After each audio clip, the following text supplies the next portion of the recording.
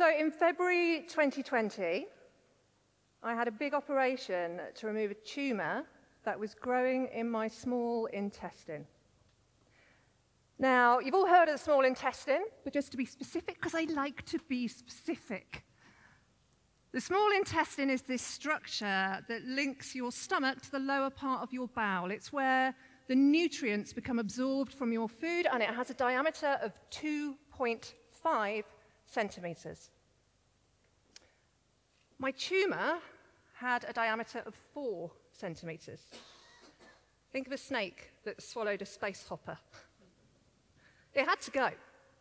So, fortunately, I was under the care of a very talented surgeon and his team who were able to do the operation laparoscopically using keyhole surgery. And I remember him sitting me down and explaining to me how he would make a couple of holes in my belly, how he would go in with these laparoscopic instruments, um, and how he would cut out the diseased section of the small intestine and then join the two healthy ends together using either sutures or titanium staples. And I remember thinking, wow, titanium is really cool. I hope he goes for that option.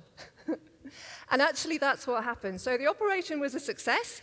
Uh, before the operation, my small intestine was 1.9 meters long and afterwards it was 30 centimeters smaller. I now have a relatively small, small intestine, but I boast a belly full of high tech, state of the art titanium staples that look a little bit like this. So, um, I'm a science writer. I'm professionally curious. I ask a lot of questions uh, it makes me a good science writer, but it makes me a really annoying patient. and um, I found myself thinking, wow, I mean, stapling your guts together. How did they come up with that?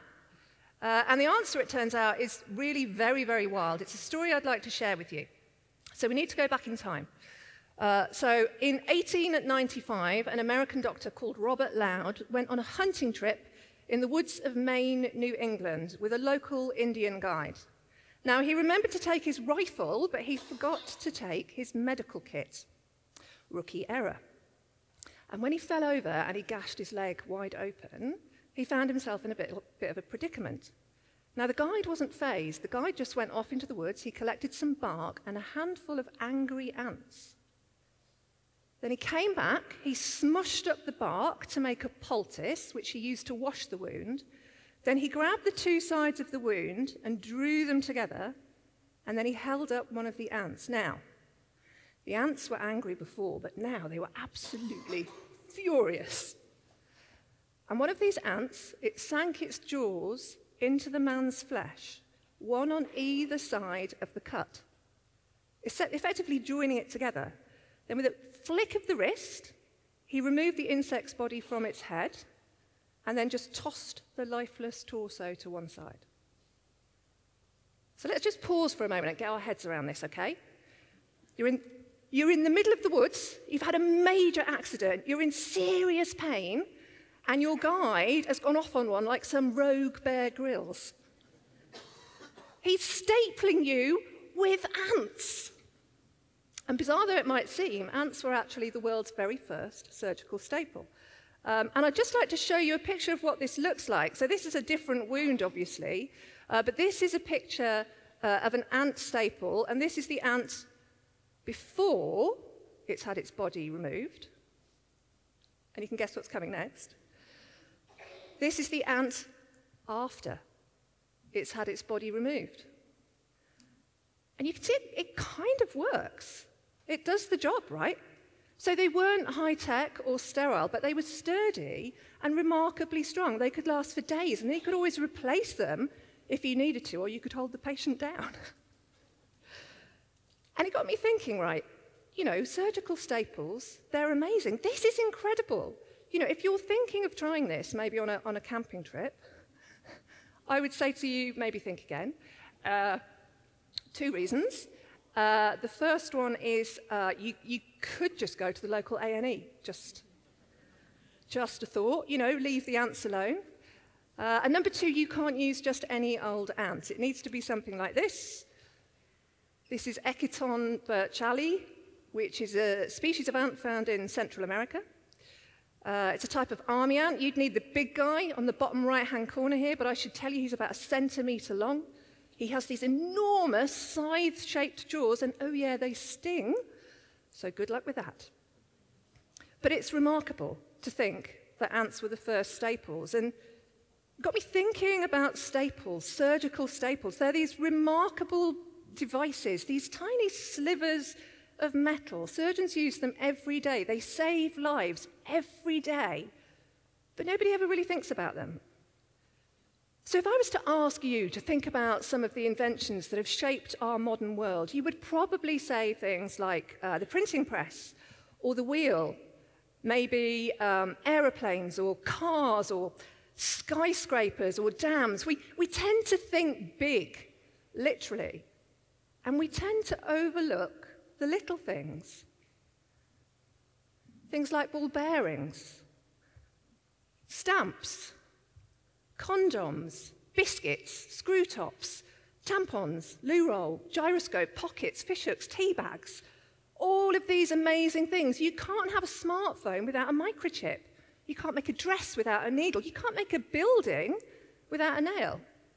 And it got me thinking about this, and I went off and I started doing some research about these small inventions that nobody's ever thought about.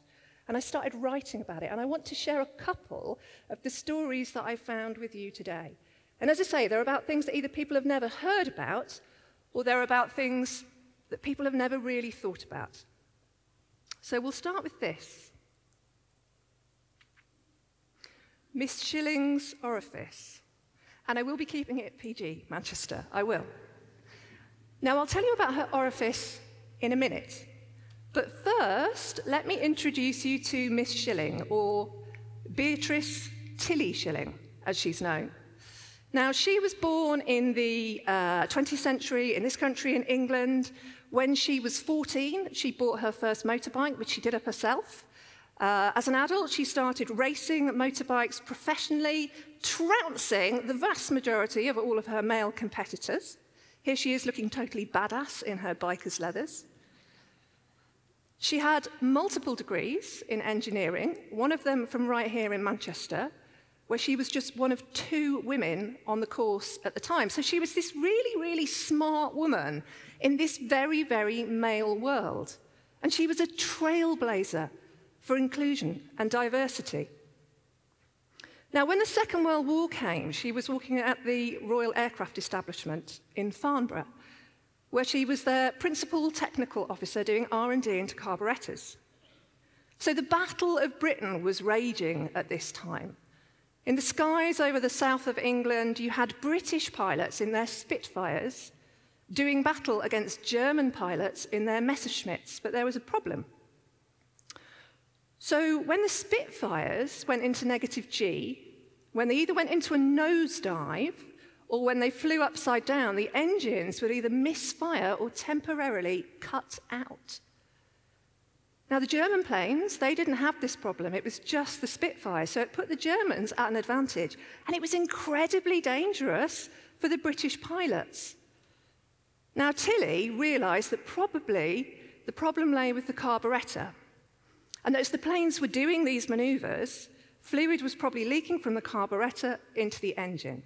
So whilst all of her male colleagues were come up with this, coming up with this major redesign, she came up with a quick, cheap, practical fix. And it was just a washer. Just a washer. We don't think about washers. They're in everything from washing machines to flat pack furniture, from, I don't know, satellites to the chairs that you're sitting on. And she designed a washer that looked like this.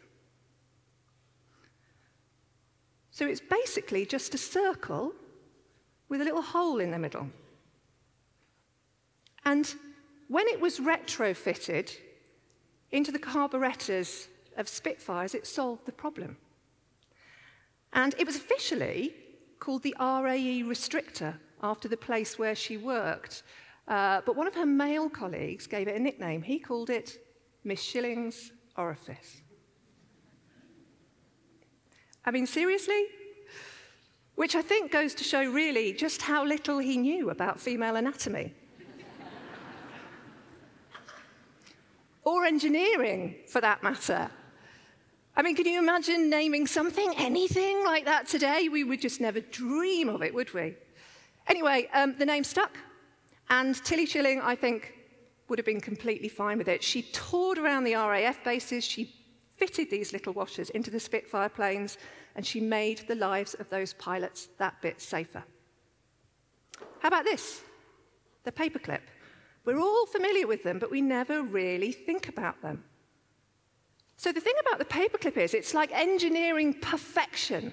It's like there was this divine light that shone down on the stationery cupboard, fusing the best of form with the best of function to make a device that is so simple, so elegant, and so brilliant, it's iconic. And this is the modern gem paperclip. And you can see it's got the classic single loop at the top and the double loop at the bottom. And it's that double loop that is really, really important because it grips our paper with all the tenderness of a mother holding her newborn. And yet, at the same time, all the confidence of a second-hand car salesman. And paperclips are just so cool. Loads of people claim to have invented them. There are literally dozens of patents relating to the paperclip. They all run to multiple pages in length, and the irony is that most of them aren't even clipped together. and somebody who came up with an idea for a paperclip was this guy, Johan Vaaler. He was a Norwegian gentleman. And in 1899, he developed a paperclip that looked like this. Now you can see this looks very different to the classic modern paperclip of today. It lacks that second turn, that second loop, so it makes it much harder to use. Now he was awarded two patents for this, one in Germany and one in America, and shortly after that, a Norwegian encyclopedia described him as the paperclip's inventor, and the story spread. That's how he became known. And it didn't matter that there were patents that predated his. And it didn't matter that the gem paperclip had already been on sale in America for at least eight years. He became known as the paperclip's inventor, and Norway claimed the paperclip as one of their own. So it's a major biographical error, but I'm prepared to let it slide for one reason. And it's this. During the Second World War, Nazi forces invaded and then occupied Norway forcing the king at the time, Haakon VII, into exile. For the people who were left, it was a really dark and desperate time. With the battle raging all around them, communications faltered. In a spirit of defiance, they listened to foreign news broadcasts. They distributed underground newspapers, and they made little badges from Norwegian coins that had the exiled king's head on. And then, when wearing those badges became banned, they started to wear paperclips. So in Norway, in Norwegian, paperclips are called binders. So now, instead of binding paper together, the paperclip stood as a symbol of a nation that was bound together, bound in unity in the face of a violent aggressor that threatened their way of life, that threatened their democracy. And it was small, it was subtle, and it was brilliantly defiant. And people put them on their jacket pockets. They hooked them together and they made bracelets and they made necklaces. It stood as stood as a symbol of solidarity. And then, when the wearing of paperclips became banned, the paperclip still stood for hope. So, who would have thought that such a small and seemingly trivial piece of office equipment could acquire such a deep and profound meaning? Who would have thought that a tiny washer would help to keep British pilots safe during the Second World War? And who'd have thought that I'd be standing here in front of you today with a belly full of titanium staples?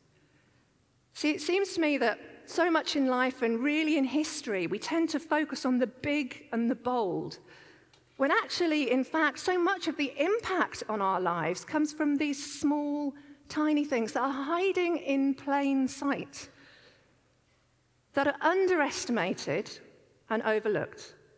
And so here I am standing here wearing my two paper clips, one blue and one yellow, and I leave you with this. Because I have hope, and I really do believe that sometimes small things can make a big difference. Thank you for listening.